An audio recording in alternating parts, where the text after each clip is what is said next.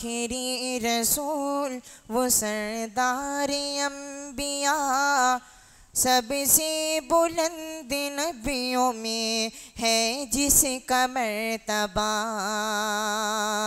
जिस पर तमाम हो गया नबियों का सिलसिला। अब मैं मुकर्र खसूसी फसीलत शेख डॉक्टर अब्दुल गफ़ार सल्फ़ी हफिज़ल्ला उस्ताद एयाउसन्ना बजरडिया बनारस से मुखातब हूँ कि आप तशरीफ़ लाएँ और हम सामीन को अपनी कीमती कलमात से नवाजें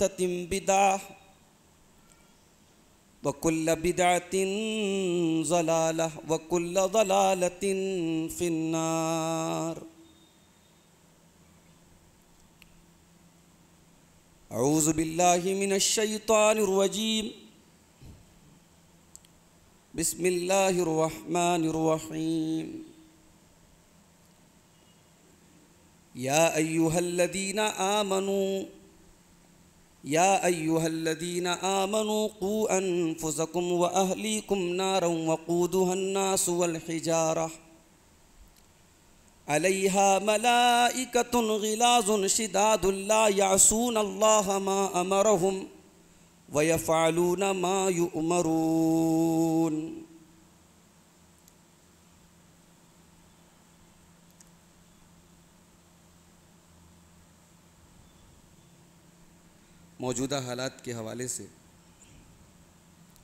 एक नज़म समात फरमाए।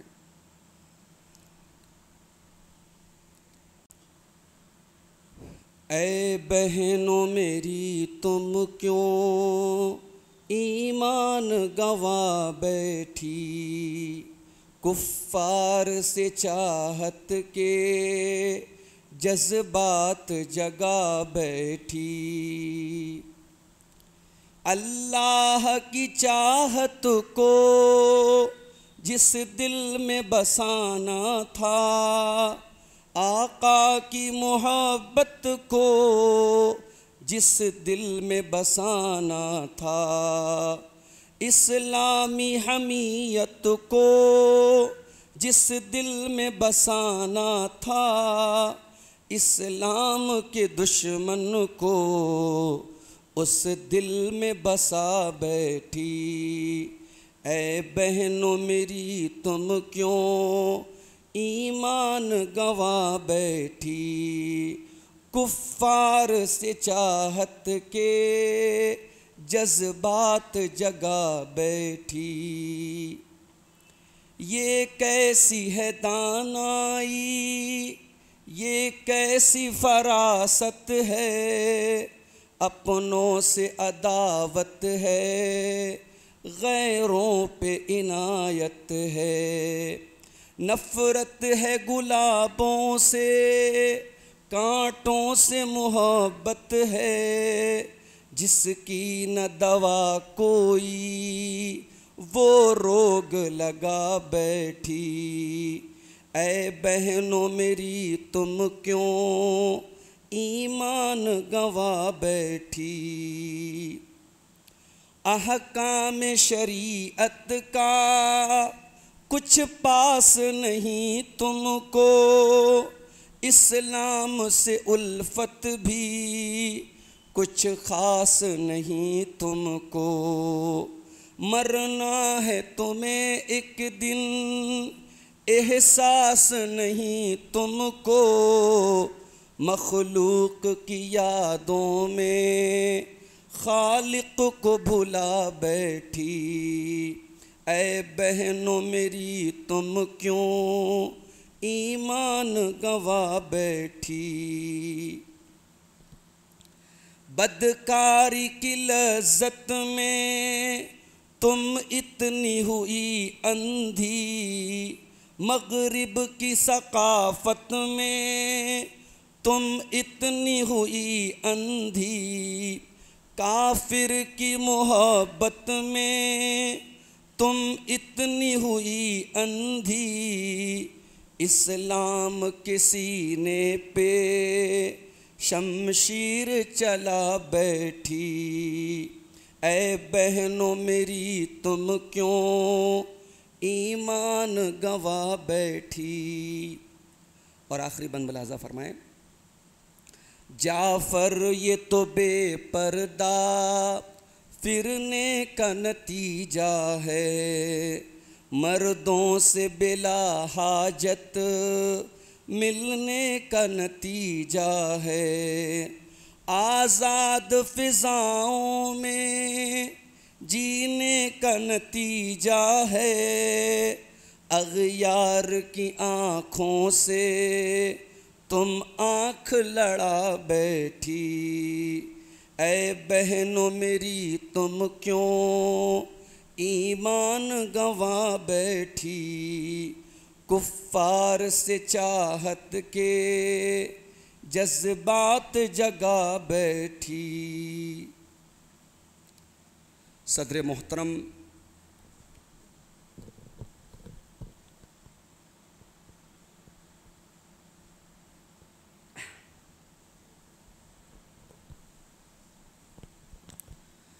सदर मोहतरम मौलमाए कराम, मोहतरम बुज़ुर्गों, नौजवान साथियों, माँ और बहनों, प्यारे बच्चों। मऊ की सरज़मीन पर पिछले कुछ दिनों से कुछ मजबूरियों की वजह से दीनी प्रोग्राम और मजलिसें बहुत कम मुनद हो रही हैं। और यही वजह है कि जब मौलाना अजमल साहब ने आज के प्रोग्राम के लिए मुझसे रबता किया और कहा कि औरंगाबाद की फाटक वाली मस्जिद में प्रोग्राम है तो मुझे हैरत भी हुई।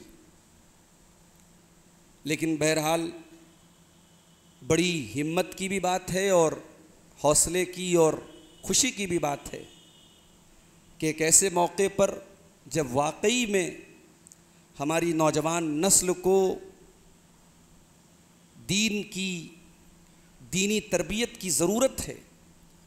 और ख़ास तौर से हमारी ख़वातीन के अंदर जो बिगाड़ और जो मसाइल पैदा हो रहे हैं, उनके मद्देनज़र इस किस्म के प्रोग्राम मस्जिद ही में सही, अंदर ही के लाउड स्पीकर से सही।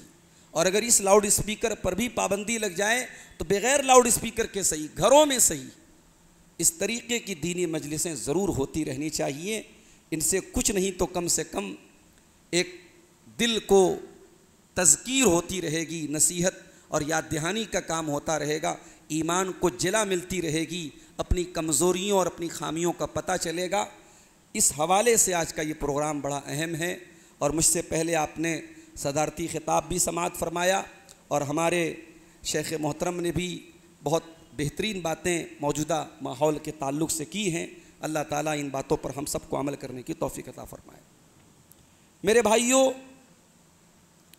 एक मोमिन की सबसे बड़ी दौलत क्या है? एक मोमिन का सरमाया क्या है? एक मोमिन की पूंजी क्या है? एक मोमिन का कैपिटल क्या है? मोमिन का सरमाया उसका माल नहीं है, उसका घर नहीं है, उसके बाल बच्चे नहीं हैं। ये तमाम चीज़ें सेकेंडरी हैं।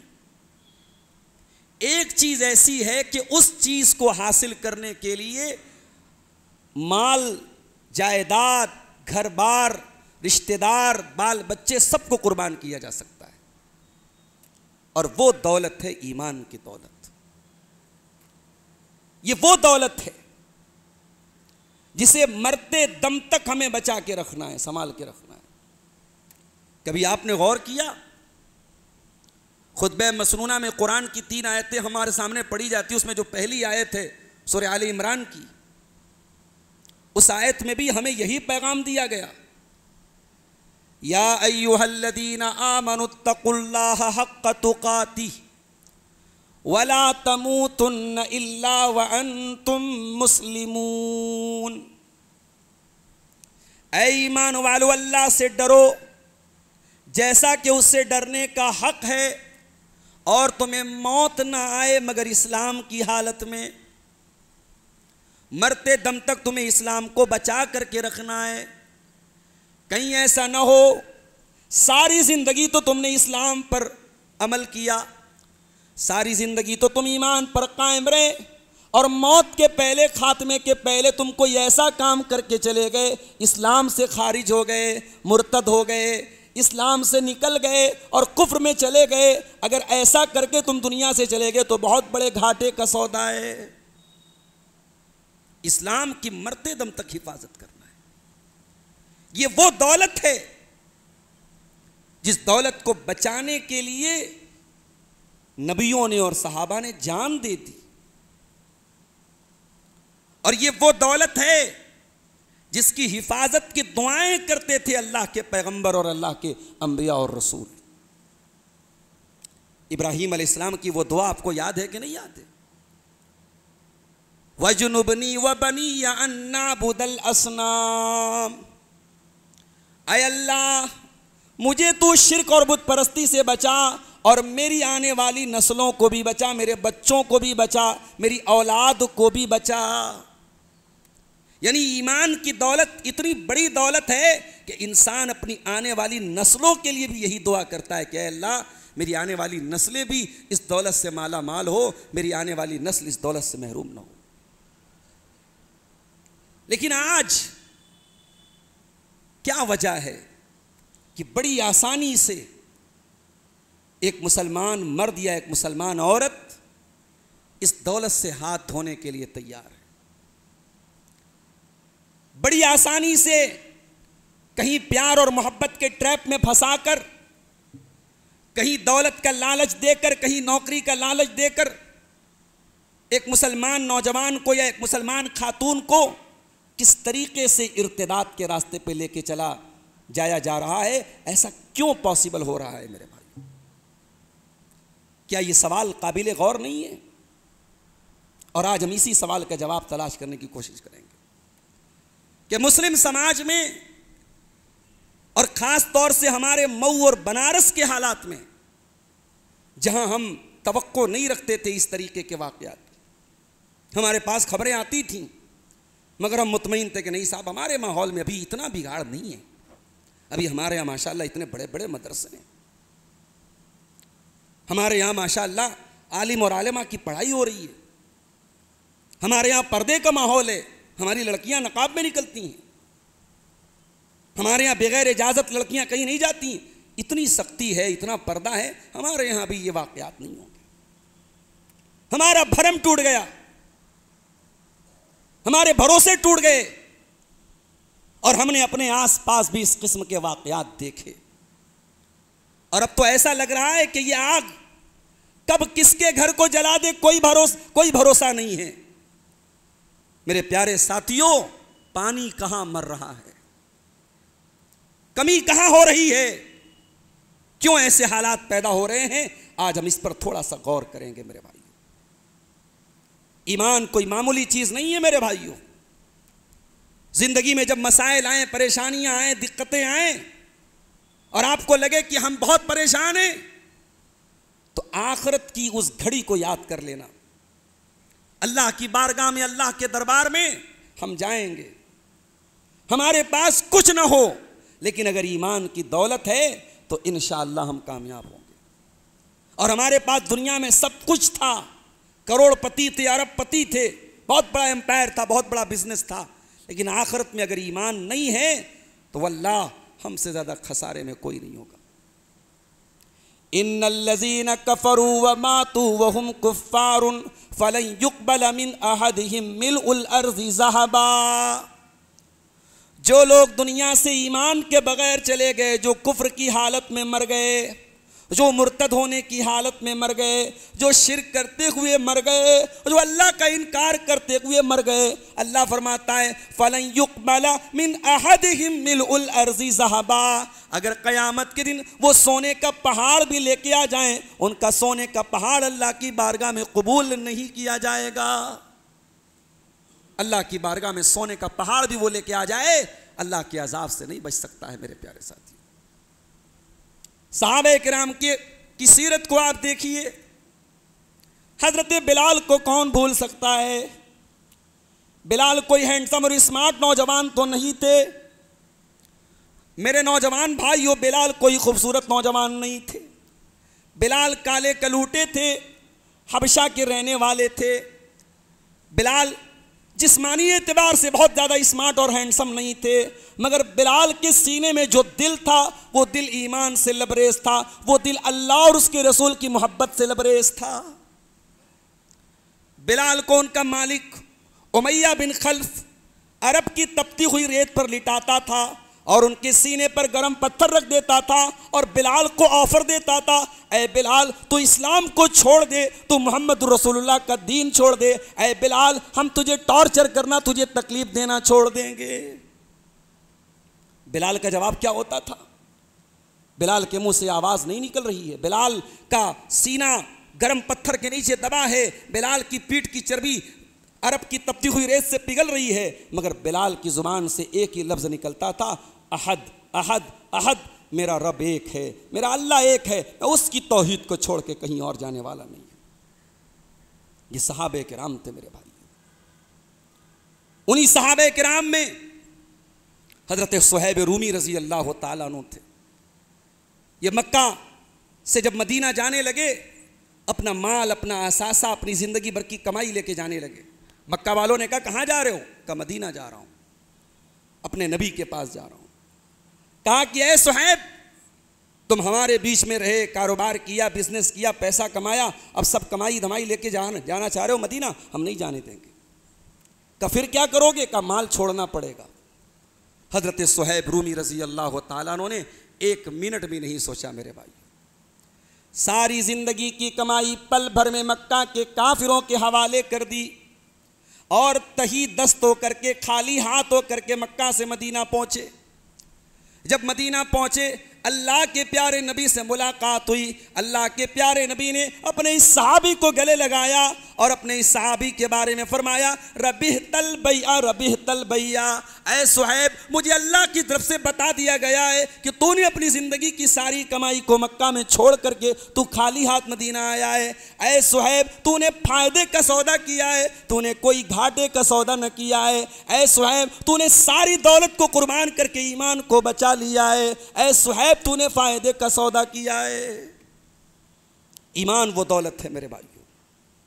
सारी ज़िंदगी की कमाई कुर्बान कर दी हज़रत सुहैब ने। एक लम्हे के लिए तवक्कुफ नहीं किया, एक लम्हे के लिए उनको कोई कंफ्यूजन नहीं हुई। मेरी प्यारी माँ बहनों, आज हमारी कोई बहन अगर मुर्तद हो रही है, ये सिर्फ़ गुस्से का मकाम नहीं है, ये सिर्फ़ बातें करने का मकाम नहीं है, ये सोचने का मकाम है कि ये हालात कैसे पैदा हो गए। हमारी तारीख ऐसी तो न थी, हमारी तारीख में तो ऐसी औरतों के वाक़ात मिलते हैं, जिन्होंने अपना सब कुछ कुर्बान कर दिया, मगर तोहहीद को कुर्बान न किया। हमारी तारीख तो समैया बिन खैयात की मिसाल पेश करती है। ये समैया कौन है? हज़रत अम्मार की माँ है, हज़रत यासिर की बीवी हैं। इनको कैद कर दिया गया, जंजीरों में, रस्सियों में बाँध दिया गया। सामने शौहर है, सामने जवान बेटा है। और अबू जहल ने, सोमैया को धमकी दी कि ऐ सोमैया, इस्लाम नहीं छोड़ेगी, तुझे नंगा कर दूँगा तेरे जवान बेटे के सामने।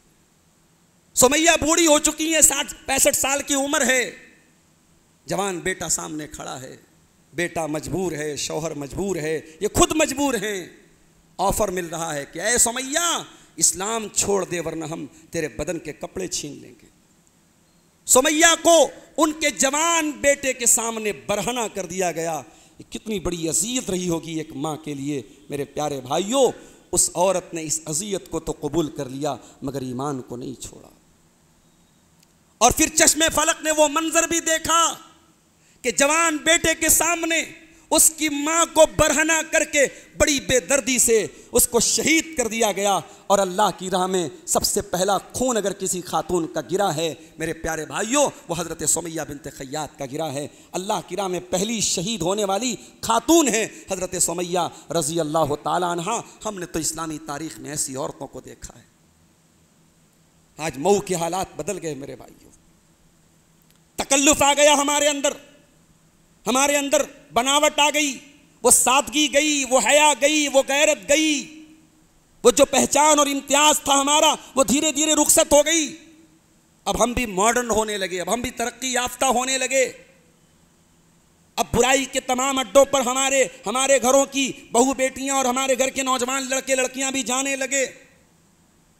हमारी तारीख तो ऐसी औरतों के वाकयात भी पेश करती है।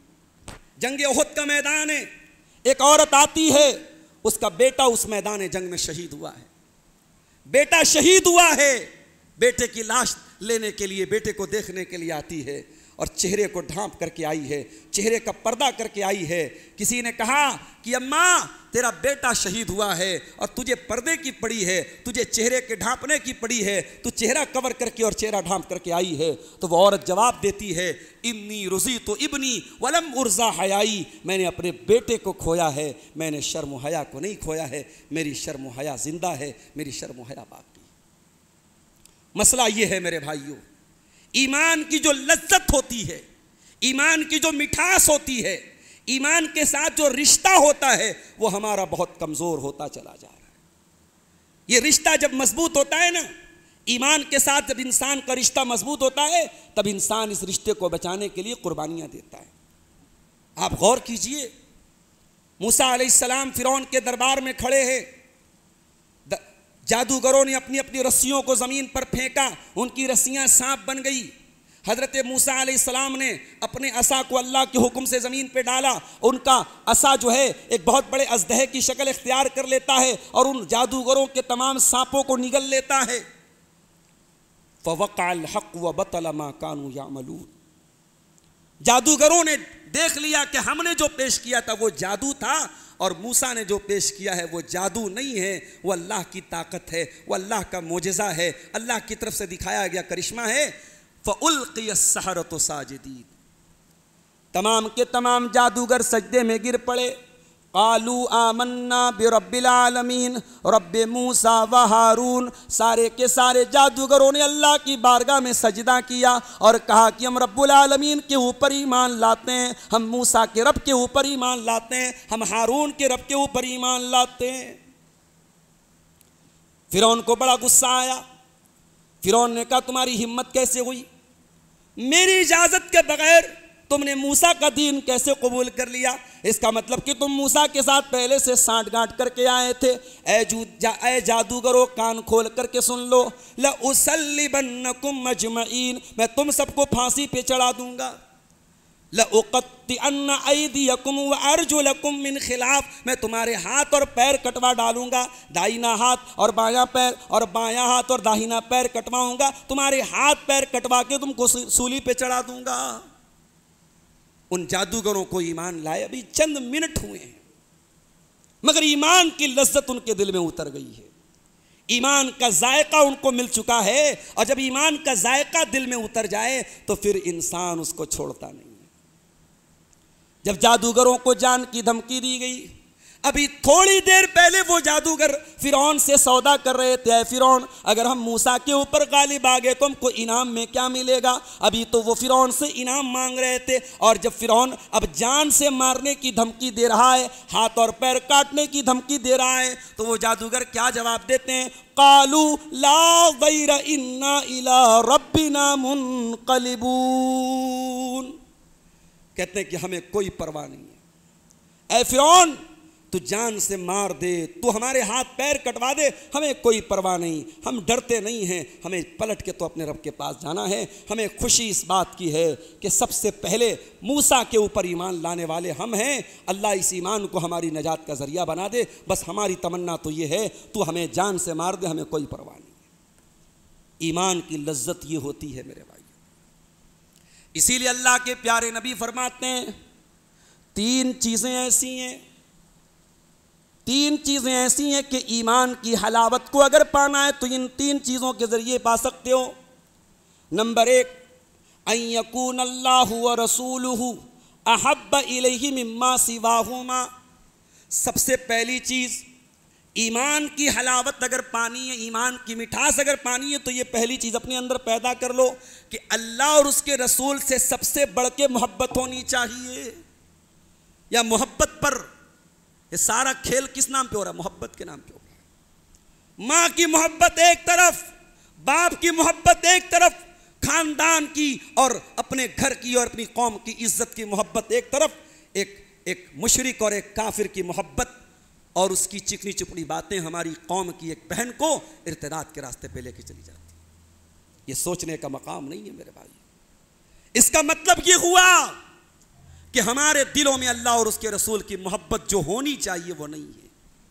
अल्लाह और उसके रसूल की मोहब्बत इतनी होनी चाहिए यकून अल्लाह व रसूल अहब्बा सिवा होमा कि दू, दूसरी तमाम चीज़ों से ज़्यादा अल्लाह और उसके रसूल की मोहब्बत होनी चाहिए। हज़रत खुबैब इबन अदी का वाक़ याद कीजिए। सूली पे चढ़ाया जा रहा है खुबैब से पूछा जाता है खुबैब कोई आखिरी ख्वाहिश हो तो बता दो। खुबैब कहते हैं, आखिरी ख्वाहिश है कि दो रकात नमाज़ पढ़ लूँ, अपने रब के सामने सजदा कर लूँ, का कोई बात नहीं, नमाज़ पढ़ लो। हज़रत खुबैब ने हल्की हल्की दो रकातें पढ़ी और जब सलाम पेरा कहा कि अः मक्का के काफिरो, मैं और लंबी नमाज़ पढ़ता, मगर तुम ये सोचते कि मैं मौत के डर से नमाज़ को लंबा कर रहा हूँ, इसलिए मैंने लंबी नमाज़ नहीं पढ़ी। मक्का के काफिरों ने कहा खुबैब, अगर तुम एक बात अपनी ज़ुबान से निकाल दो तो हम तुम्हें बचने का एक मौका दे सकते हैं। का क्या बात है? कहा, अगर तुम ये कह दो कि मेरी जगह आज मोहम्मद रसूलुल्लाह होते और उनको सूली पे चढ़ा दिया जाता, अगर तुम इतनी बात अपनी ज़बान से निकल, निकाल दो तो हम तुम्हें छोड़ने पर गौर कर सकते हैं, हम तुम्हें रिहा कर सकते हैं। अल्लाह अकबर। साहब के राम कैसे लोग थे मेरे भाई? क्या उनको मौत से डर नहीं लगता? आज कितने लोग हैं जो साहब के राम पर उंगलियाँ उठा रहे हैं? बड़ी तेज़ी से हमारे नौजवान ऐसे लोगों से इंप्रेस हो रहे हैं, मुतासर हो रहे हैं।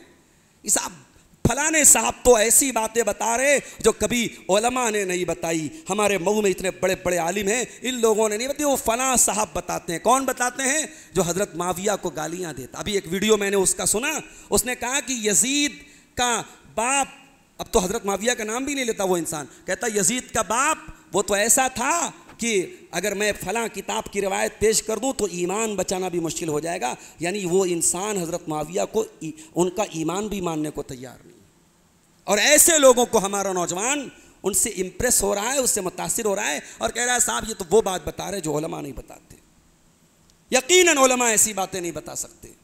ओलमा आपको अल्लाह की मोहब्बत बताएँगे, रसूल की मोहब्बत बताएँगे, सहाबा की मोहब्बत बताएँगे। सहाबा से नफरत करना, सहाबा पर तबर्रा करना, सहाबा से बदगुमानी करना, सहाबा के ईमान पर कमेंट करना, ये तो ओलमा कभी आपको नहीं बताएँगे मेरे भाई। और हाँ ये भी कान खोल के सुन लो। हमारे कुछ नौजवानों का एक ही काम है, हज़रत मुआविया और हज़रत अली के दरमियान जो इख्तलाफ हुआ, उसी लड़ाई और उसी इख्तलाफ के चक्कर में पड़े रहना। ढूंढ ढूंढ करके ऐसी रिवायतें निकालना और ऐसे वाकयात निकालना कि फला जंग में ये हुआ, फला जंग में ये हुआ। अरे भाई, तू होता कौन है ये सब तय करने वाला? तू अभी अकीदे की मोटी मोटी बातें नहीं जान रहा, नमाज़ का तरीका तुझे आता नहीं है, दीन की बेसिक नॉलेज तेरे पास नहीं है, और तू सहाबा के दरमियान होने वाले झगड़ों का फैसला करने के लिए निकला है। तू है कौन? तेरी औकात क्या है? तू तू न तीन में है, न तेरह में है। ये वो मुकद्दस हस्तियाँ थी मेरे भाइयों, जिनके जन्नती होने की गारंटी कुरान देता है, जिनके जन्नती होने की गारंटी नबी अकरम ने दी है। अपनी ज़बानों को काबू में रखो मेरे भाइयों। सहाबा वो थे। हज़रत खुबैब कहते हैं, मक्का के काफिरों तुम ये कहते हो कि मेरी जगह मोहम्मद रसूलुल्लाह, आज फांसी पे और सूली पे चढ़ जाते? अरे मैं तो ये भी गवारा नहीं करता कि मेरी जान बच जाए और मेरे नबी के पाँव में कांटा भी चुभोया जाए और उसके बदले में मेरी जान बख्श दी जाए। मैं तो ये भी गवारा नहीं करता। तो मेरी जगह सूली देने की बात करते हो। ईमान की मिठास पाना है मेरे भाइयों तो ये पहला काम करना पड़ेगा। अल्लाह से सबसे ज़्यादा मोहब्बत और उसके रसूल से सबसे ज़्यादा मोहब्बत। नंबर दो फरमाया वहिबलमर अला युहिब्बहु इल्ला किसी इंसान से मोहब्बत करो तो अल्लाह के लिए करो। रिश्तेदारी की वजह से किसी से मोहब्बत है, वो तो होती रहती है। किसी से कारोबार है, उससे लेन देन है, उससे फ़ायदा हो रहा है, उससे प्रॉफिट हो रहा है, उससे मोहब्बत है तो ये कोई ख़ास बात नहीं है। लेकिन किसी इंसान से इसलिए मोहब्बत है कि वो ईमान वाला है, वो मोमिन है, वो नेक है, वो दीनदार है, वो आलिम है, वो अल्लाह के दीन की खिदमत कर रहा है। उसके ज़रिए अल्लाह के बंदों को फ़ायदा हो रहा है। अल्लाह के लिए किसी से मोहब्बत हो रही है। अल्लाह के नबी फरमाते अगर ये चीज़ तुम्हारे अंदर है, तुम किसी से मोहब्बत अल्लाह के लिए करते हो तो ये भी ईमान की मिठास की दलील है। और तीसरी चीज़ फरमाया, वो अयक रहा अयूदा फिल कुफरी कमा यक फिन्नार जिस तरीके से इंसान आग में डाले जाने को नापसंद करता है, उसी तरीके से इस्लाम कबूल करने के बाद अब कुफ्र के रास्ते पर जाने को नापसंद करे। यानी कितनी बड़ी अफसोस की बात है मेरे भाई। एक मोहिद आदमी, एक तोहीद वाला आदमी जो तोहीद की अहमियत को समझता हो, वो शिर कैसे कर सकता है? जो अल्लाह अकबर का नारा लगाता है, जो ला इलाहा इल्लल्लाह का नारा लगाता है, जो एक अल्लाह के आगे अपनी पेशानी झुकाता है, वो किसी पत्थर के बुत के आगे खड़ा होकर के कैसे हाथ जोड़ सकता है? किसी जानवर की इबादत कैसे कर सकता है? किसी नदी की इबादत कैसे कर सकता है? चूँकि चीज़ें रिकॉर्ड हो रही हैं, बहुत सारी बातें मैं बयान नहीं कर सकता, लेकिन आप कभी अक्ल के एतबार से भी आप कंपैरिजन कीजिए। अक्ल क्या कहती है? हमारा दिमाग क्या कहता है? हमारी कॉमन सेंस क्या कहती है? ये शिरक करने वाले, ये पत्थरों की और जानवरों की और शर्मगाह की इबादत करने वाले, ज़रा उनके हालात देखिए, ज़रा उनके मजहबी इज्तमात देखिए। अभी सावन का महीना चल रहा है, हमारे बनारस में बड़ा रश है, आप उनके इज्तमात देखिए। और आप एक तरफ़ लब्बई अल्लाहुम्मा लब्बैक कहने वाली सदाओं को देखिए, कितना फ़र्क है मेरे भाई। इस्लाम की ये नेमत, अगर इसको कोई खो देता है मेरे भाइयों तो ये इसका मतलब ये है कि उसकी बुद्धि भ्रष्ट हो गई है, उसका उसका दिमाग खराब हो चुका है, उसकी अक्ल का सत्यानाश हो चुका है। अब आइए हम कुछ असबाब देखते हैं कि हमारी कौम में जो ये इर्तदाद की लहर पैदा हो रही है, उसकी वजह क्या है? उसकी सबसे पहली वजह जो मुझे समझ में आ रही है, मखलूत तालीम। अभी आपके मऊ के एक साहब ने कहा, मौली साहब, माफ़ कीजिएगा, मुझे तालीम से बड़ी एनर्जी एलर्जी है। तालीम तालीम से हमारी कौम में बड़ा बिगाड़ हुआ है। माफ़ कीजिएगा।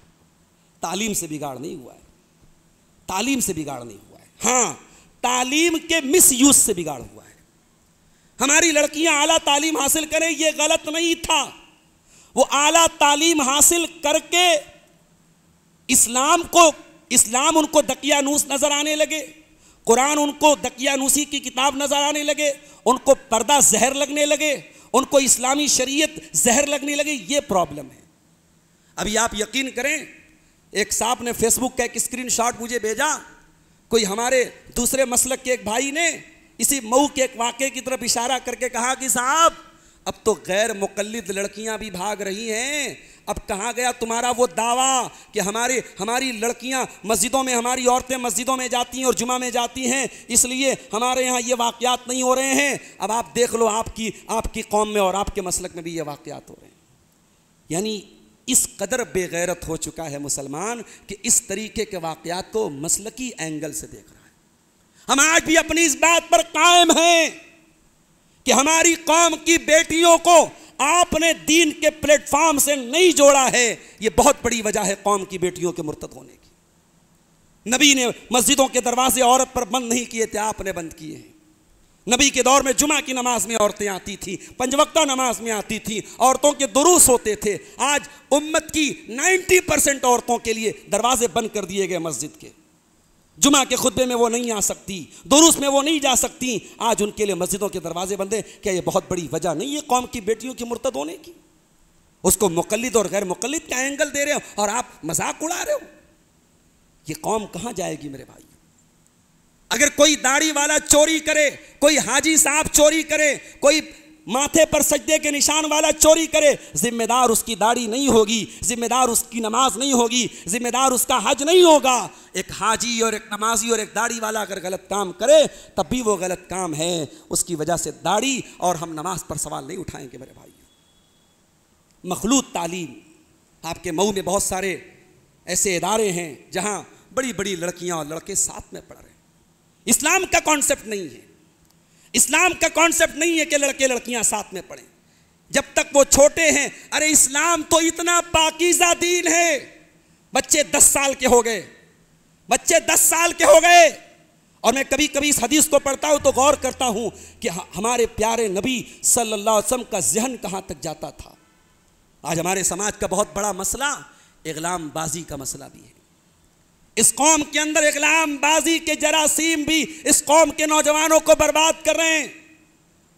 लड़कों के अंदर यह गंदगी बड़ी तेज़ी से पनप रही है और आज बाकायदा हुकूमतें और अदालतें इसको लाइसेंस दे रही हैं। याद रखो मेरे भाइयों, ये वो बदतरीन अमल है। अल्लाह के प्यारे नबी ने लानत की है कि जो लूत अलैहिस्सलाम की कौम वाला अमल करेगा, जो कौम लूत का अमल करेगा, अल्लाह की लानत हो उसके ऊपर। और तिरमिजी की सही रवायत है, आपने फरमाया, अगर कोई ये अमल करे तो करने वाले को, फ़ाइल को और मफूल को दोनों को कत्ल कर दो। इसको कत्ल करने के लायक जुर्म कहा गया है। नबी ने फरमाया, बच्चे दस साल के हो जाए, बिस्तर अलग कर दो। बिस्तर अलग करने का क्या मतलब है? लड़का लड़का भी एक बिस्तर पे ना सोए, लड़की लड़की भी एक बिस्तर पे ना सोए। इस्लाम की नज़र वहाँ तक है, जहाँ तक आपकी नज़र नहीं जाती है। जो इस्लाम 10 साल के बाद बच्चों का बिस्तर अलग करने की तालीम देता है, वो बीए में और एमए में लड़के लड़कियाँ साथ में पढ़े, इस बात की इजाज़त कैसे दे सकता है? और आप यकीन रखें, जब आपकी बेटियाँ इन कॉलेजों में जाती हैं तो वहाँ बहुत सारे गैर मुस्लिम लड़के उनकी हेल्प करने के लिए तैयार बैठे। आपका लड़का जाएगा, उसको हेल्प नहीं मिलेगी। आपकी बुरका नशीन बेटी जाएगी, उसका गैर मुस्लिम भाई, उसका भाई बन के पहले उसके सामने आएगा, उसकी मदद करेगा। ये बड़ा आसान ट्रैप है जिसमें हमारी कौम की बेटियों को फंसाया जा रहा है। इसलिए इस्लाम मखलूत तालीम की इजाज़त नहीं देता है। अपनी कौम को मखलूत तालीम से बचाइए मेरे मुस्लिम लड़कियों का जॉब करना। बहुत सारे घरों में ये मामला भी चल रहा है। लड़की काम कर रही है, लड़की मदरसे में पढ़ा रही है, लड़की नौकरी कर रही है और बाप इसलिए शादी में ताखिर कर रहा है कि ये सोने का अंडा देने वाली मुर्गी है। मैं कहता हूँ, ऐसा बाप बेगैरत है जो अपनी बेटी की कमाई खाने की वजह से उसकी शादी में ताखिर करे। उससे बड़ा दयूस और उससे बड़ा बेगैरत कोई बाप नहीं हो सकता है। मेरा जुमला नोट कर लो मेरे भाइयों, ये सहाबा का दौर नहीं है, ये ताबईन का दौर नहीं है। एक जमाना था गुनाह करने के ऑप्शन लोगों के पास कम थे। आज गुनाह करने के हज़ारों ऑप्शन है। और हलाल ऑप्शन सिर्फ़ एक है और वो निकाह का ऑप्शन है। और उस एक निकाह के ऑप्शन को अगर आपने मुश्किल बनाया, अपने रस्म रिवाज के चक्कर में, अपनी झूठी शान के चक्कर में, लड़की का रिश्ता आ रहा है अच्छा लड़का है अच्छा कमाने वाला लड़का है, दीनदार घर है, सब कुछ ठीक है, मगर साहब, घरवा वैसा नहीं है। हुँ? हमारे बराबर के लोग नहीं, हमारे स्टेटस के लोग नहीं हैं। इस तरीके की बातें करके औरतें रिश्तों को रिजेक्ट कर देती हैं। कितने दीनदार लड़के आज वो रिश्ता शादी के लिए उनके घर वाले परेशान हैं। रिश्ते नहीं मिल रहे कई खूबसूरत लड़की है, दीनदार लड़की है तो साहब उनको बहुत ही, यानी करोड़पति, अरबपति आदमी चाहिए। अल्लाह के प्यारे नबी फरमाते हैं, इज़ा खतब दीनहु व खुल्कहु फज़व्विजू। जब तुम्हारी बेटियों के लिए ऐसा रिश्ता आ जाए, लड़का दीनदार है, लड़का बाखलाक है तो जल्दी से निकाह कर दो। इल्ला तफालू, अगर तुम ऐसा नहीं करोगे, तकुन फितनतुन फिलर्जी तो ज़मीन के अंदर फितना फैल जाएगा, वह फसाद नरीज और बहुत बड़ा फसाद फैल जाएगा। मैं फिर से वही बात कह रहा हूँ। हराम ऑप्शन बहुत सारे हैं, आप रोक नहीं पाएँगे। आज आप अपने कौम के बच्चे और बच्चियों को इन हराम ऑप्शन से रोकना बहुत कितनी नज़र रखेंगे आप? ये इंस्टाग्राम ये फेसबुक ये व्हाट्सएप ये सोशल मीडिया ये मोबाइल कौन सा घर बचा है मेरे भाई? कौन सी फैमिली बची है? कौन सी लड़की बची है? कौन सा लड़का बचा है? इन फितनों के दौर में कभी कभी माँ बाप को समझदारी से काम लेना चाहिए।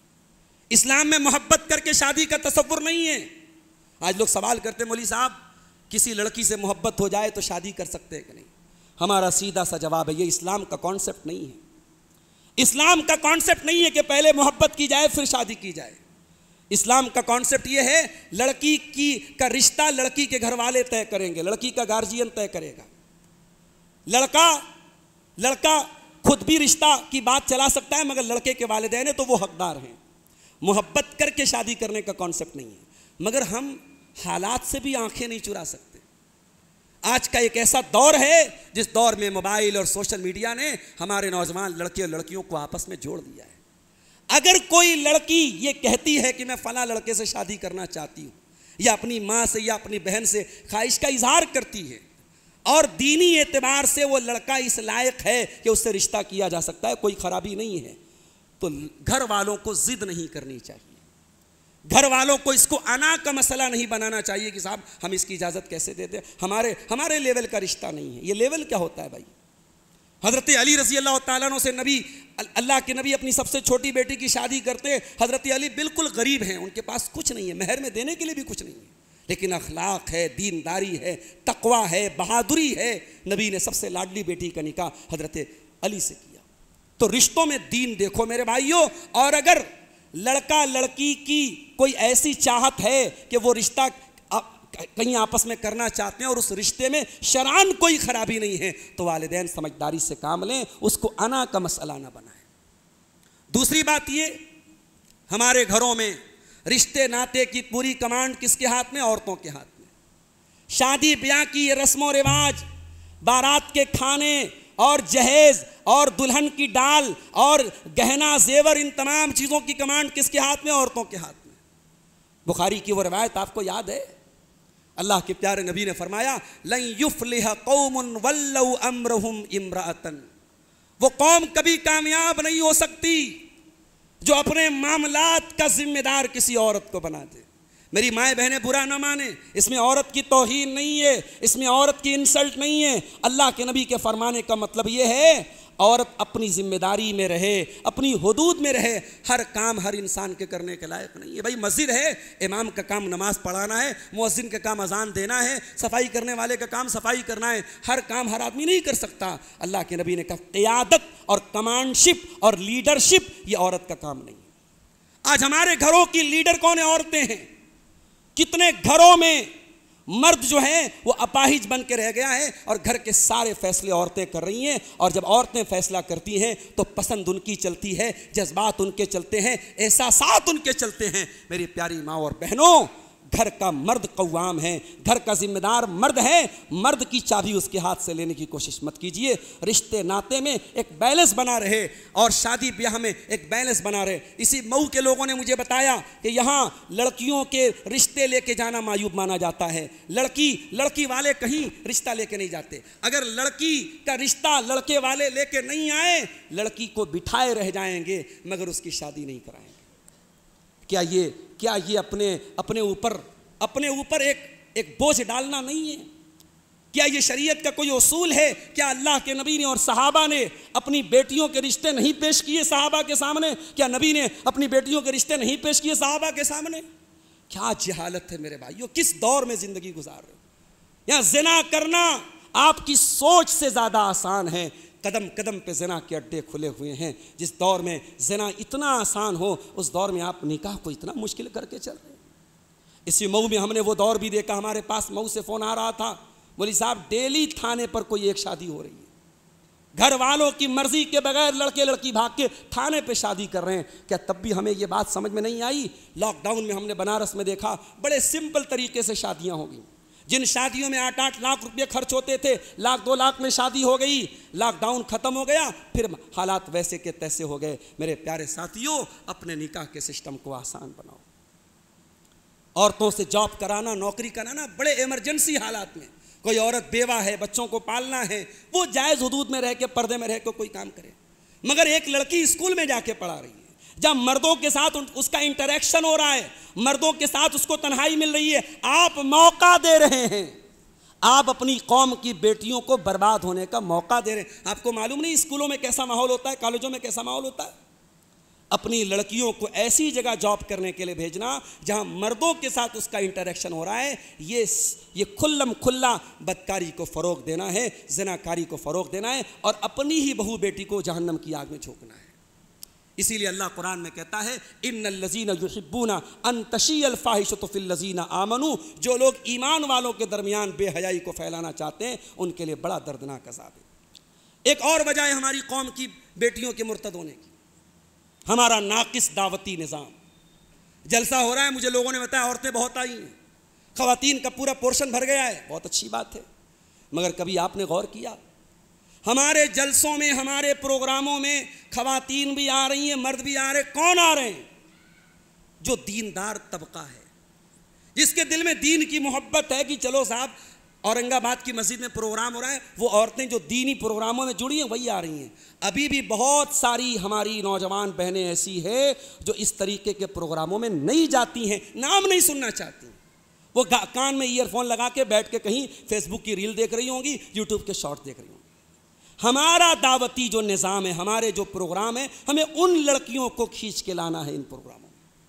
हमारे वो नौजवान जो जलसों में आमतौर से आ रहे हैं, बहुत अच्छी बात है, हम उनका वेलकम करते हैं।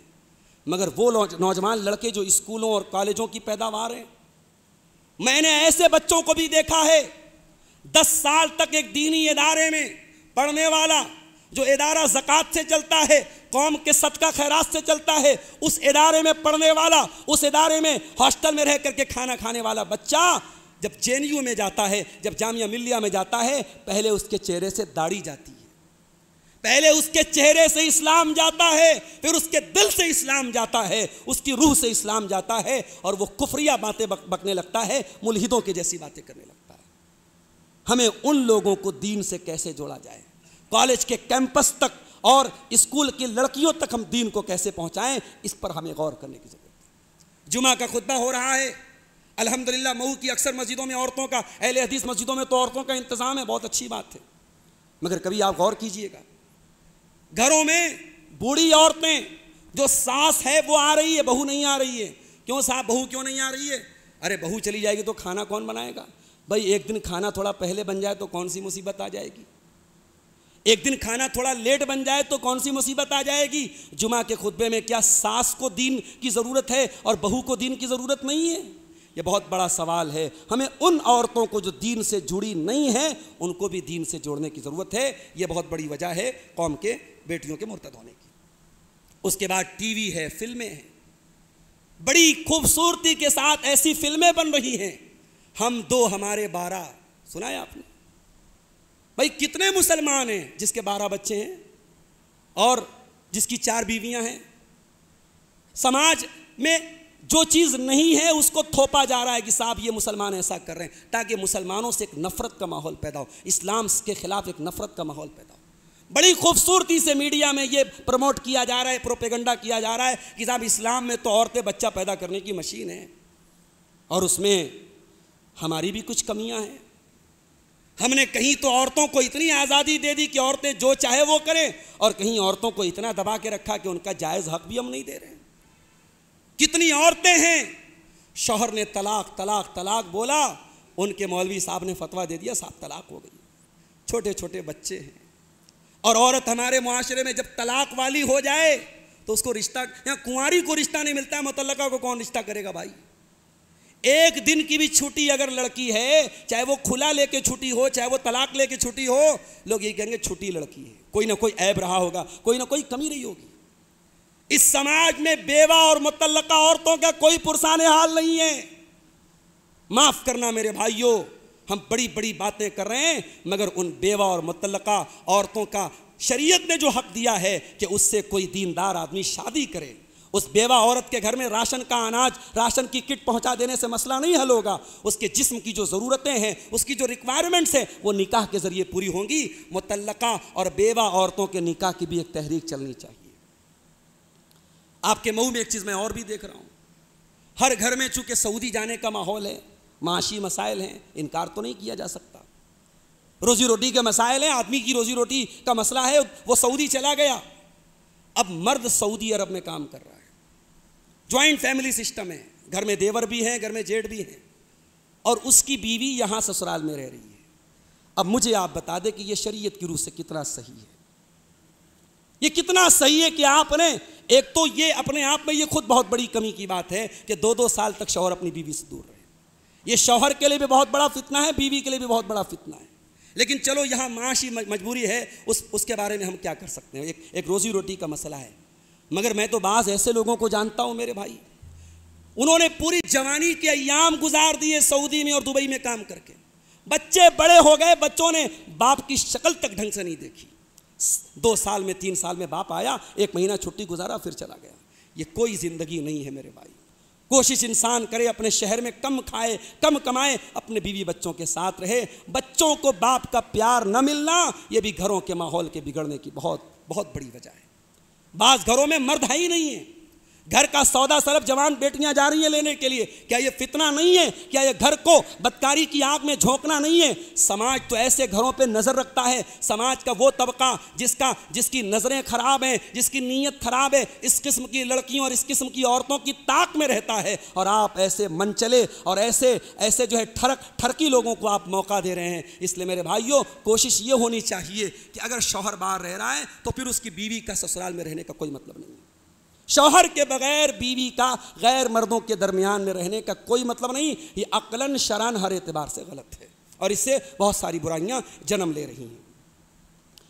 इसी तरीके से हम एक चीज़ ये भी देख रहे हैं कि हमारे आसपास का माहौल कैसा है। ये भी बहुत बड़ा मैटर करता है। बनारस में मैं बाज़ ऐसी बस्तियों को जानता हूँ जहाँ मुसलमान रहे, वहाँ आसपास में मुसलमान नहीं थे, वहाँ कोई मुसलमान फैमिली गई, उनके घरों में गैर इस्लामी त्यौहार, गैर इस्लामी रस्में होने लगी। इंसान के ऊपर माहौल का बड़ा असर पड़ता है मेरे भाई। एक वीडियो मैंने देखा फेसबुक के ऊपर कि एक एक कुत्ते का बच्चा जो है, वो खरगोश के साथ रहते रहते खरगोश की तरह उछलने लगता है। उस वीडियो का कैप्शन यही था कि देखिए, संगत का असर इसको बोलते हैं। कुत्ते का बच्चा खरगोश की देखा देखी खरगोश की तरह उछल उछल के चलने लगता है, क्योंकि खरगोश को वो देख रहा है। इसी तरीके से कुत्ते का बच्चा मुर्गा के साथ रह करके जब सुबह मुर्गा बांक देता है, कुकड़ुकों की आवाज़ निकलता है तो कुत्ता का बच्चा भी उसकी आवाज़ निकालता है। ये संगत का असर होता है। इसीलिए हमारी शरीयत कहती है कि जब आप कहीं मकान बनाएँ, कहीं रिहाइश इख्तियार करें तो आसपास की बस्ती को भी देखें। हमारा अड़ोस पड़ोस कैसा है? अगर आप काफिरों और मुशरकों के दरमियान और मुलहिदों के दरमियान रहेंगे उनकी बस्तियों में रहेंगे। ला महाला उनका असर आपके ऊपर पड़ेगा। मिसालें बहुत सारी मौजूद हैं। इससे भी हमें और आपको परहेज़ करना चाहिए। इसी तरीके से माँ बाप की दयूसीत भी बहुत जिम्मेदार है इन वाक़ात के लिए। माँ बाप जब दयूस हो जाएँ, बेगैरत हो जाएँ खास तौर से लड़की क्या पहन रही है, माँ को बहुत अच्छी तरीके से मालूम होता बेटी का दोपट्टा उसके गरेबान पर है कि नहीं, माँ से ज़्यादा किसी को खबर नहीं है। मगर जब माँ का दोपट्टा खुद उसके सीने पर न रहता हो, वो बेटी की क्या तरबियत करेगी? याद रखो मेरे भाइयों, जब माएँ बच्चलन होती हैं तो बेटियाँ भी माँ का असर लेती हैं। मैंने तजर्बा किया है और हालात और मुशाहदात बताते हैं कि माएँ बच्चियाँ अपनी माओ से बहुत कुछ सीखती हैं। माएँ सख्त हों माएँ स्ट्रिक्ट हों माएँ गैर महरम से बात करने के मामले में सख्त हो, क्या मजाल है कि लड़की किसी गैर महरम को लिफ्ट दे? माँ अपनी बच्चियों को कंट्रोल कर सकती है। माँ अगर ढीली पड़ गई, माँ की रस्सी ढीली पड़ गई, या माँ बेगैरत बन गई, शादी ब्याह का माहौल है जवान बेटी है, ऐसा गाउन पहने हुए है, ऐसा फ्रॉक पहने हुए, पूरी बॉडी नज़र आ रही है, पूरी आस्ती नज़र आ रही है, पूरी पूरी पीठ और पेट नज़र आ रहा है, पूरे बदन के आज़ा नज़र आ रहे हैं। क्या माँ को नहीं मालूम मेरी जवान बेटी कैसा कपड़ा पहने हुए है? अगर माँ ने वो कपड़ा खुद ला के अपनी बेटी को दिया है, बाप ने वो कपड़ा खुद ला के अपनी बेटी को दिया है, माफ़ कीजिएगा, वो बाप बेगैरत है, वो माँ बेगैरत है, वो शोहर बेगैरत है। और अल्लाह के प्यारे नबी फरमाते हैं कि तीन लोग ऐसे हैं जिनकी तरफ़ क़यामत के दिन अल्लाह ताला न देखेगा, ना बातचीत करेगा, ना पाक करेगा। उसमें नंबर एक अलाक को लेवालदे ही अपने माँ बाप को तकलीफ़ पहुँचाने वाला। नंबर दो, मर्दों की नकल करने वाली औरत। और नंबर तीन, अद्दयूस, वो बेगैरत मर्द। अल्लजी यकिरफ़ी अहलखबुस जिसके घर में गंदगी होती हो, जिसके घर में बेहयाई होती हो, और उसको कोई फ़र्क ना पड़ता हो। एक और वजह है। एक और वजह हमारी कौम की बेटियों के मुर्तद होने की। बड़ी तेज़ी के साथ हमारी कौम के बच्चे और बच्चियों में ये एहसास डाला जा रहा है कि हम बड़े मजलूम हैं। दूसरे लोग हमारे ऊपर हावी हैं। मेरी पाँच साल की बच्ची है। कभी मोबाइल पर यूट्यूब चलाता हूँ तो कहती है, अब्बा, वो फ़लस्तीन वाली नज़म लगाओ। फ़लस्तीन में क्या हो रहा है? हमारी बच्चियाँ, उसके एहसास, वो, उसका एहसास हमारी बच्चियों को है। वो गज़ा के ऊपर कोई नज़म है, वो हमारी बच्ची कहती है, पाँच साल वाली, अब, अबू, वो लगाइए आप। यानी बच्चों के दिमाग में भी ये डाला जा रहा है कि मुसलमान बड़े मजलूम हैं। ये एक एक सोची समझी चाल है। मेरे भाइयों, हम अपनी कौम के दिलो दिमाग में एक किस्म की मायूसी भर रहे हैं। मायूसी भरने की ज़रूरत नहीं है। अरे, क्या हमारी तारीख में ऐसा दौर नहीं, इससे बुरे दौर आए हैं। न इस्लाम मिटा है, न मोहम्मद रसूलुल्लाह का दीन मिटा है, न कुरान मिटा है, न तोहीद मिटी है। एक वो दौर भी आया था, बगदाद पर तातारियों ने हमला किया था दरियाए दजरा का पानी मुसलमानों के खून से लाल हो गया था। मुसलमानों की लाइब्रेरियों को जलाया गया था। दरियाए दजरा का पानी मुसलमानों की जली हुई किताबों से काला हो गया था। लेकिन तब भी ना इस्लाम मिटा, ना मुसलमान मिटे। इसलिए ये जो फिक्री यलगार है और इस्लाम के ख़िलाफ़ ये मीडिया की शक्ल में, सोशल मीडिया की शक्ल में, प्रिंट मीडिया की शक्ल में, इलेक्ट्रॉनिक मीडिया की शक्ल में, आप देखिए बड़े बड़े न्यूज़ चैनल पर प्रोग्राम चल रहे हैं। और उस प्रोग्राम में कोई आदमी आता है, कहता है, मैं एक्स मुस्लिम हूँ। मैं एक्स मुस्लिम हूँ, मैं पहले मुसलमान था, अब मैंने इस्लाम को छोड़ दिया।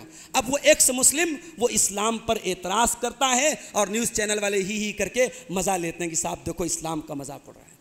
अरे न्यूज़ चैनल वालों, तुम्हारे अंदर वाकई में गैरत है। बहुत सारे लोग इस्लाम कबूल करते हैं। बड़े बड़े बॉलीवुड के सेलिब्रिटीज़ बड़े बड़े हॉलीवुड के सेलिब्रिटीज़ इस्लाम कबूल करते तुम्हारे अंदर गैरत और हिम्मत है? तो जो इस्लाम कबूल करते हैं एक्स क्रिश्चियन हैं एक्स यहूदी हैं एक्स गैर मुस्लिम हैं, जो पहले किसी और मज़हब पर अमल करते थे, ज़रा उनका इंटरव्यू भी अपने टीवी पर दिखाओ कि उन्हें इस्लाम क्यों पसंद आया और उन्होंने इस्लाम क्यों कबूल किया। मगर ये ऐसा नहीं करेंगे। क्यों? वलन तर्जा अनकल यहूद वलन नसारा हत्ता तत्तबी मिलत उनका मकसद है लोगों को इस्लाम से मुतनफ़िर करना उनका मकसद है कौम के बेटे बेटियों को इस्लाम से दूर करना और अपने मकसद में बड़ी तेज़ी से कामयाब हो रहे हैं। अब आइए तकरीर का आखिरी पाँच मिनट बचा है। हम जल्दी जल्दी, इलाज क्या है? परेशानी हमने समझ ली। परेशानी की वजह भी हम समझ गए। इसका इलाज क्या है? तो मेरे भाइयों, सबसे पहली जो चीज़ है, हम अपनी बेटियों की तरबियत में मोहब्बत और सख्ती का बैलेंस रखें। बेटियों की तरबियत में इतनी मोहब्बत भी ना हो कि उनकी जायज़ नाजायज़ हर फरमाइश पूरी कर दी जाए। वो बेपर्दा घर से निकले, हमें कोई एतराज़ ना हो। वो मखलूत तालीम की तरफ़ जाना चाहे, हमें कोई एतराज़ ना हो। उनके उनके बॉयफ्रेंड हो, हमें कोई एतराज़ ना हो।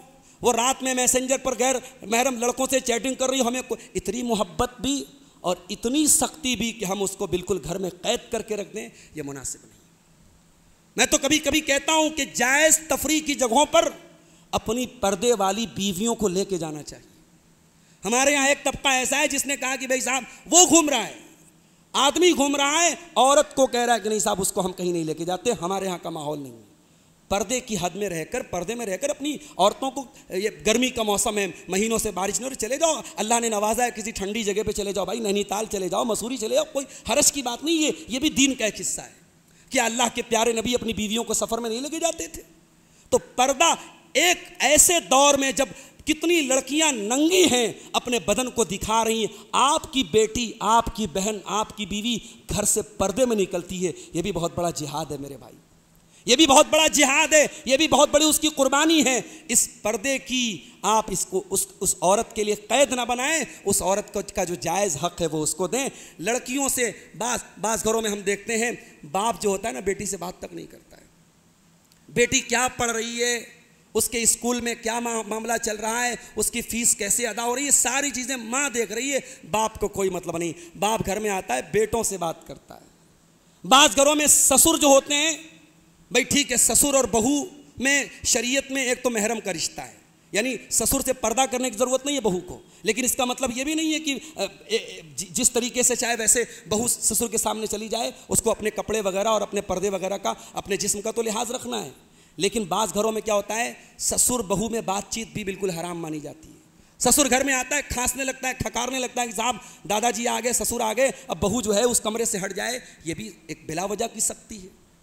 बास घरों में हमने देखा कि साहब बहू लोग लास्ट में खाना खाएँगी। पहले अब्बा खाएँगे, फिर बेटे लोग खाएँगे, जो बचा खुचा रहेगा, ये कहाँ का इंसाफ है मेरे भाई? आपने क्या उनको जानवर बना दिया उन औरतों को? तो औरतों के ताल्लुक से, लड़कियों के ताल्लुक से हमें एक बैलेंस रखना होगा। बहुत ज़्यादा सख्ती भी मुनासिब नहीं और बहुत ज़्यादा मोहब्बत भी मुनासिब नहीं। और वालदेन अपनी ज़िम्मेदारी को महसूस करें मेरे भाई। जिस तरीके से कुम्हार अपने बर्तन को जैसे चाहता है संवार लेता है, बच्चे जब तक छोटे हैं, आपकी तरबियत आपने जैसे उनको ढाला होगा, बच्चे वैसे ही ढलेंगे। मैंने बाज़ घरों में देखा, बच्चियों को ये सिखाते हैं कि तुझे किसी मर्द को मुसाफा नहीं करना है। कोई बड़े मौलाना साहब भी आ गए, बच्ची आठ साल की, नौ साल की बच्ची है, वो आके सलाम करेगी, मुसाफा नहीं करेगी। उसके माँ ने उसके बाप ने सिखाया है कि देखो तुम्हें किसी मर्द से मुसाफा नहीं करना है। और बास घरों में क्या है? कजिन ब्रदर सिस्टर आपस में एक दूसरे से जो है वो हाथ मिला रहे हैं। ईद के मौके पर गले मिल रहे हैं। इतनी आज़ादी है। तो हमें तरबियत, अपने बच्चों की तरबियत का बहुत ख़ास ध्यान देना है। और तीसरी चीज़ ये है, जैसा कि मैं अक्सर अपनी तकरीरों में कहता हूँ कि मस्जिदों में औरतों का इंतज़ाम बहुत ज़रूरी है। अलहमदिल्ला आज़मगढ़ में कई मस्जिदों में इंतज़ाम नहीं था। मैंने तकरीरों में कहा, वहाँ लोगों ने शुरू किया। झारखंड में कई जगहों पर मैं गया। वहाँ बहुत सारी मस्जिदों में औरतों का इंतज़ाम एक जगह बहुत शानदार मस्जिद थी, लेकिन औरतों का इंतज़ाम नहीं था। मैं वहाँ तकरीर करके आया, अगले साल गया, लोगों ने कहा, मौलाना, आपके कहने पर हमने औरतों का अलग पूरा पोर्शन बना लिया। ईदगाह में भी हम औरतों का इंतज़ाम करते हैं। बहुत खुशी की बात है, मेरा दिल देख तक, देख करके बाग बाग हो गया। ये ज़रूरत है मेरे भाइयों, कि हम अपनी मस्जिदों में औरतों का भी अरेंजमेंट करें। और जैसा कि मैंने कहा कि जुमा के खुतबे में औरतें आएँ, बूढ़ी भी आएँ, जवान भी आएँ, बहू भी आएँ, सास भी आएँ, क्योंकि ये जो आधा घंटे का जुमा का खुतबा होता है इसका बहुत असर होता है। एक घंटे की तकरीर आपने सुनी, आज वक्ती तौर पर असर है, फिर कल ख़त्म हो जाएगा। मगर जुमा के खुतबे में बार बार जब आप एक बात को सुनेंगे इन उसका असर होगा। इसी तरीके से एक चीज़ ये भी कि घर में दीनी माहौल बनाए। आपके घर का माहौल कैसा है? मुसलमानों के घरों में बर्थडे मनाया जा रहा है। मुसलमानों के घरों में एनिवर्सरी मनाई जा रही है। मुसलमानों के घरों में शादी के फ़ोटोज़ को फ्रेम लगा के उनके घरों में लगाया जा रहा है। मुसलमान के घर में महरम, गैर महरम का कोई मसला नहीं, कोई पर्दा नहीं। जीजा साली के बीच में कोई पर्दा नहीं, देवर भाभी के बीच में कोई पर्दा नहीं। आपके घर में दीनी माहौल होना चाहिए। कुरान की जो आयत मैंने आपके सामने पढ़ी थी खुद में मसनूना के बाद, अल्लाह ने फरमाया, कु अनफुसकुम व अहली कुम नारा। ए ईमान वालों, अपने आप को और अपने घर वालों को जहन्नम की आग से बचाओ। जहन्नम की आग से कैसे बचाएँगे? हज़रत अली कहते हैं इस आयत की तफसीर में, अल्लमूहम व अदबूहम अपने घर वालों को दीन की तालीम दो, अपने घर वालों की सही तरबियत करो। और आखिरी चीज़ ये है मेरे भाइयों, कि हम निकाह को आसान करें। निकाह को आसान करें। अब वो दौर लग गया। वो रस्म व रिवाज और ये लंबे चौड़े मुतालबात और निकाह के लिए ये ये कंडीशन बस एक कंडीशन लगाओ, लड़का दीनदार होना चाहिए। हज़रत सईद इब्ने मुसैब से किसी ने पूछा कि मैं अपनी लड़की की शादी करना चाहता हूँ, किससे करूँ? उन्होंने कहा, जव्विजहा अत्तकी। अपने बेटे की शादी किसी, अपनी बेटी की शादी किसी मुत्तकी इंसान से करो। इन अहबहा अक्रमहा। अगर तुम्हारा दामाद मुत्तकी होगा, दीनदार होगा और तुम्हारी बिटिया से मोहब्बत करेगा तो इज़्ज़त देगा। और अगर मोहब्बत नहीं करेगा, तब भी इंसल्ट नहीं करेगा। दीनदारी होगी तो इन पछताना नहीं पड़ेगा। और बाकी अगर मुकद्दर में कुछ परेशानियाँ लिखी हैं, वो तो आनी है। लेकिन हम दीनदारी को तरजीह दें। माओ बहनों से गुजारिश करना चाहूँगा, जिनके घरों में बेटियाँ हैं, जिनके घरों में बहनें हैं, कि रिश्तों में दीनदारी को तरजीह दीजिए। और इसी तरीके से कौम की जो बेटियाँ मुर्तद हो गई हैं, हम सिर्फ़ वीडियो वायरल ना करें। हम सिर्फ़ रजिस्ट्री के कागजात वायरल ना करें। हम कोशिश करें उस बहन तक पहुँचने की कोशिश करें, उसको रिस्क्यू करने की कोशिश करें, उसको इस्लाम की तरफ़ वापस लाने की कोशिश करें और अगर किसी लड़की के बारे में डाउट है कि वो इस किस्म के जाल में फंस रही है, उसकी काउंसलिंग का इंतज़ाम करें। कुछ उलमा ऐसे हों, कुछ आलमात ऐसी हों जो उस लड़की को समझाने का काम करें, उसकी काउंसलिंग करें। अगर हमारे समझाने से कोई एक कौम की बेटी, कोई एक बहन हमारी अगर इस कुफ्र के की जहन्नम की आग में जाने से बच गई मेरे भाइयों तो हो सकता है ये कोशिश हमारे लिए नजात का ज़रिया बन जाए। दुआ कीजिए रब्बुल आलमीन से। रब्बुल आलमीन, हमारी कौम को इस मुसीबत से अल्लाह ताला हमारी कौम की बहनों और बेटियों की हिफाजत फरमाए। रब्बुल आलमीन, हमें अपने घरों के माहौल में दीनदारी को लाने की तोफ़ीकता फ़रमाए। रब्बुल आलमीन, हमें अपने बेटों और बेटियों की सही वक्त पर और सुन्नत तरीके से, सिंपल तरीके से उनकी शादी करने की तोफ़ीकता फ़रमाए। रब्बुल आलमीन, निकाह में जो फजूल रस्म व रिवाज धीरे धीरे हम अपने ऊपर लादते चले जा रहे हैं। अल्लाह ताला इन रस्म रिवाज के चंगुल से हम सबको निकलने की तोफ़ीकता फ़रमाए। हमारे वो भाई जो इस परेशानी के दौर में भी दीन से दूर हैं, अल्लाह ताला उन्हें दीन से जुड़ने की, नमाज़ों से जुड़ने की, उलमा से जुड़ने की तोफ़ी अता फ़रमाए। हमारे वो नौजवान भाई बहन जो सोशल मीडिया का गलत इस्तेमाल कर रहे हैं, बदकारी और जनाकारी के रास्ते पर जा रहे हैं, अल्लाह ताला उन्हें जल्द से जल्द इस रास्ते को छोड़ करके सही राह पर आने की तोफ़ी अता फ़रमाए। जो हम में बीमार हैं, अल्लाह उनको शफ़ा कामिल अजील अता फ़रमाए। जो रोज़ी रोटी से परेशान हैं, अल्लाह उनके कारोबार में बरकत नसीब फ़रमाए। रब्बुल आलमीन हम सबको कहने सुनने से ज़्यादा अमल की तोफ़ी अता फ़रमाए। आमीन व आखुरदावाना अलहमदिल्ला बारिश के लिए हाँ ये मऊ के अंदर ख़ास तौर से लोगों ने बताया बारिश नहीं हो रही है। बहुत सारे इलाक़ों में इतनी बारिश हो रही कि लोग परेशान हैं। और यहाँ और बनारस में भी बारिश बहुत कम हो रही है। दुआ कीजिए, अल्लाह ताला मौसम की शिद्दत को कम करके रहमतों की बारिश नाजिल फरमा दे।